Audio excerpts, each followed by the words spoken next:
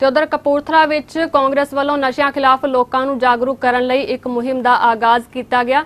ਇਸ ਮੌਕੇ ਜਿੱਥੇ ਕਾਂਗਰਸ ਦੇ ਵੱਡੇ ਆਗੂ ਮੌਜੂਦ ਰਹੇ, ਉੱਥੇ ਲੋਕਾਂ ਨੇ ਵੀ ਵੱਧ ਚੜ ਕੇ ਹਿੱਸਾ ਲਿਆ। ਇਸ ਮੌਕੇ ਯੂਥ ਆਗੂ ਅਵੀ ਰਾਜਪੂਤ ਨੇ ਕਿਹਾ ਕਿ ਸਾਨੂੰ ਸਾਰਿਆਂ ਨੂੰ ਨਸ਼ੇ ਵਰਗੇ ਕੋੜ ਨੂੰ ਜੜੋਂ ਵੱਢਣ ਲਈ ਕੰਮ ਕਰਨਾ ਚਾਹੀਦਾ ਹੈ, ਤਾਂ ਜੋ ਉਸਾਰੂ ਸਮਾਜ ਦੀ ਸਿਰਜਣਾ ਕੀਤੀ ਜਾ ਸਕੇ। ਮੁੱਖ ਏਜੰਡਾ ਸੀ ਅੱਜ ਦੀ ਮੀਟਿੰਗ ਦਾ ਸਾਡੇ ਸਤਿਕਾਰਯੋਗ ਕੈਪਟਨ ਅਮਰਿੰਦਰ ਸਿੰਘ ਜੀ, ਮੁੱਖ ਮੰਤਰੀ ਪੰਜਾਬ ਉਹਨਾਂ ਦੀਆਂ ਨੀਤੀਆਂ ਨੂੰ ਘਰ ਘਰ ਪਹੁੰਚਾਉਣਾ, ਯੂਥ ਨੂੰ ਨਸ਼ਿਆਂ ਦੇ ਦੂਰ ਰਹਿਣ ਲਈ ਜਾਗਰੂਕ ਕਰਨਾ, ਪਿੰਡਾਂ ਦੇ ਵਿੱਚ, ਸ਼ਹਿਰਾਂ ਦੇ ਵਿੱਚ ਜੋ ਸਾਡੇ ਕੈਬਨਿਟ ਮੰਤਰੀ ਪੰਜਾਬ ਰਾਣਾ ਗੁਰਜੀਤ ਸਿੰਘ ਜੀ ਨੇ ਮੇਰੀ ਤੇ ਸਮੁੱਚੀ ਯੂਥ ਦੀ ਟੀਮ ਦੀ ਜੋ ਡਿਊਟੀ ਲਾਈ ਹੈ ਕਿ ਜੋ ਕਿ ਨਸ਼ਾ ਹੈ, ਪੰਜਾਬ ਦੇ ਵਿੱਚੋਂ ਬਿਲਕੁਲ ਖਾਤਮਾ ਕਰਨਾ ਹੈ।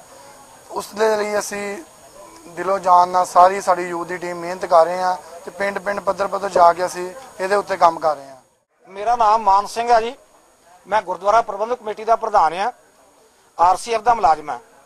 ਔਰ ਇਹ ਕੈਪਟਨ ਸਾਹਿਬ ਦਾ ਬਹੁਤ ਵਧੀਆ ਸ਼ਲਾਘਾ, ਜੋ ਕਦਮ ਹੈ, ਜੋ ਅੱਜ ਕੇ ਅੱਜ ਇੱਥੇ ਪਿੰਡ ਭਲਾਣੇ ਦੇ ਵਿੱਚ ਬਹੁਤ ਵਧੀਆ ਮੀਟਿੰਗ ਹੋਈ ਹੈ, ਜੋ ਕਿ ਅਮੀ ਰਾਜਪੂਤ, ਜੋ ਜੰਗ ਮੁੰਡਿਆਂ ਦੇ ਵਿੱਚ ਇਹਨਾਂ ਨੇ ਇਕੱਠੇ ਕਰਕੇ ਤਕਰੀਬਨ 3-400 ਮੁੰਡਾ ਇਕੱਠਾ ਹੋਇਆ ਅੱਜ।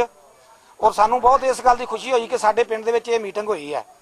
ਔਰ ਅਸੀਂ ਇਹ ਪਿੰਡ ਭਲਾਣੇ ਦੇ ਵਿੱਚ ਖੜੇ ਆ ਔਰ ਇਸ ਮੀਟਿੰਗ ਦੇ ਵਿੱਚ ਜੋ ਬੱਚੇ ਸ਼ਾਮਲ ਹੋਏ ਨੇ, ਅਸੀਂ ਬਹੁਤ ਖੁਸ਼ ਹਾਂ ਇਸ ਗੱਲ ਦੇ ਵਿੱਚ ਕਿ ਜੋ ਕੈਪਟਨ ਸਾਹਿਬ ਦੀ ਸੋਚ ਨੂੰ ਇਹ ਲੈ ਕੇ ਚੱਲੇ ਨੇ, ਜੋ ਪੰਜਾਬ ਦੇ ਵਿੱਚ ਨਸ਼ੇ ਦਾ ਬਹੁਤ ਦੌ- ਦੌਰ ਚੱਲ ਰਿਹਾ ਸੀ ਔਰ ਉਸ ਨਸ਼ੇ ਨੂੰ ਇਹਨਾਂ ਮੀਟਿੰਗਾਂ ਦੇ ਰਾਹੀਂ ਰੋਕਿਆ ਜਾਏਗਾ।